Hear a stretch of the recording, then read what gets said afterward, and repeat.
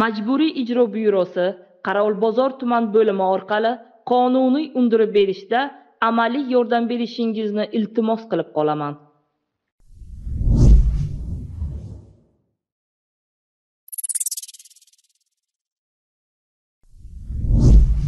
Kogon tumanlararo iqtisodiy sudining 2020 yil 13-yanvar kunidagi ajrimiga asosan mening ta'sischiligimdagi Hanifa Bonu Transservis MChJga UzPark qurilish aksiyadorlik jamiyati sobiq rahbari Do'stov G'ayrat hozirgi rahbar Nurif Zarif tomonidan jamiyatimizga tegishli avtotransport vositalaridan foydalanganligi uchun 1 milliard 372 million 200 ming so'm miqdoridagi asosiy qarzni to'lab berish majburiyati yuklatilgan edi.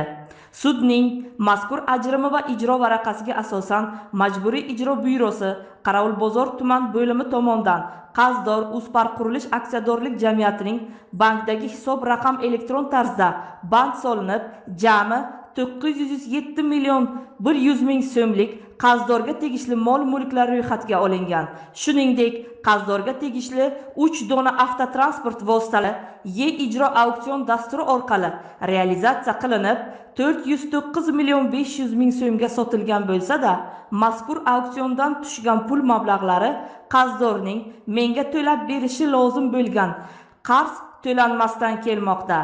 Majburiy ijro byurosi tomonidan sud ajrimiga asosan qarzdordan meni foydamga undirilishi lozim bo'lgan pul mablag'larini undirish sarsongardon va paysalga solinayotganligi oqibatida jamiyatimizning bugungi kunda tang ahvolga kelib qolgan. Hozirgi pandemiya davrida barcha insonlar qatori bizning jamoamiz ishchilari ham tang ahvoldadir. Shuning uchun jamoa a'zolariga oylik ish haqqini berish, davlat oldidagi soliq va kredit to'lovlarini to'lashga qiynalmoqdaman. Yuqoridagilarni inobatga olib, qazdor UzPark qurilish aksiyadorlik jamiyatidan 1 milliard 372 million 200 ming so'mlik miqdordagi qarzni Majburiy ijro byurosi Qorovulbozor tuman bo'limi orqali qonuniy undirib berishda amaliy yordam berishingizni iltimos qilib qolaman.